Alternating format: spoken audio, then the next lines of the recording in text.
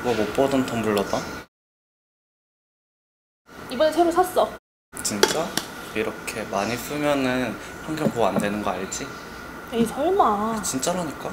실제로 텀블러를 생산하고 폐기하는 과정에서 만들어지는 온실가스는 플라스틱 컵과 종이컵 생산 폐기 과정에 비해 각 13배, 24배 이상 더 많이 발생한다고.